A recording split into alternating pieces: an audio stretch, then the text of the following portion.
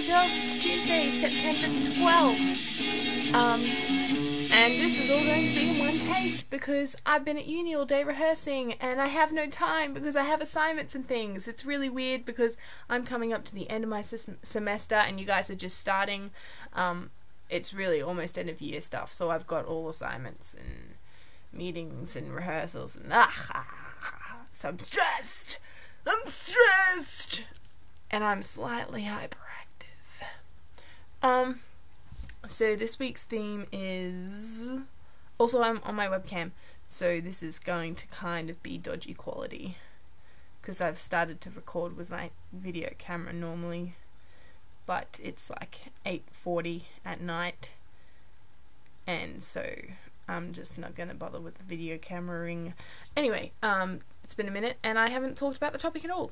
So, um, the topic is werewolves and wow, I'm really bright. I'm sorry. it's terrible, terrible lighting, but you'll have to deal. Um, so the topic is vampires and werewolves. How they transform. I'm really going insane right now. Really badly. Um, so I, I'm having such a mental break. Um, the well, vampire. I always both of them are kind of like a DNA thing. Even before Breaking Dawn, I always thought that it was a a DNA sort of thing. So I think it's in the beginning of Spider Man. I haven't seen Spider Man in a very long time, even though I own the DVD. But uh, there's the bit when he gets bitten by the spider, and then they kind of go into this whole CGI bit of DNA going around and synapses and what. No, synapses? Synapses are in your brain. Clearly, I don't remember much of my grade 12 biology. Um, uh, so yeah, the DNA is all getting changed and stuff. Um, I'm very technical today. So I imagine it is that sort of a thing, really. And in the case of the vampires, it's it's their all their muscles and their tissue and their um, their genetic makeup being strengthened and hardened into like the stone sort of thing. And then with the werewolves, it's a case of um, them just becoming more wolf-like, and their their process being speed up, sped up, whereas the vampires are being slowed down so much so that it's stopped. Um, yeah.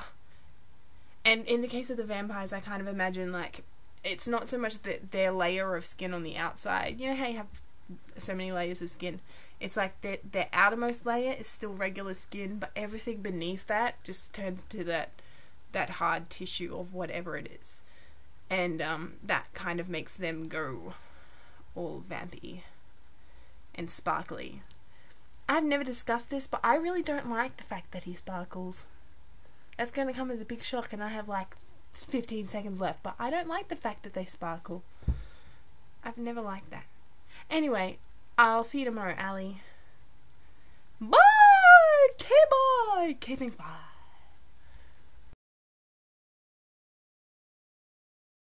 Um, also, don't forget to check out the two announcements video, which is now on the second page of our videos, I think. Um, because you guys should audition audition. Please audition. Uh, we would like to hear from you. Even if you don't want to audition, we love video responses. Um, and comments and ratings and subscribings and um, anything. We like hearing from you guys.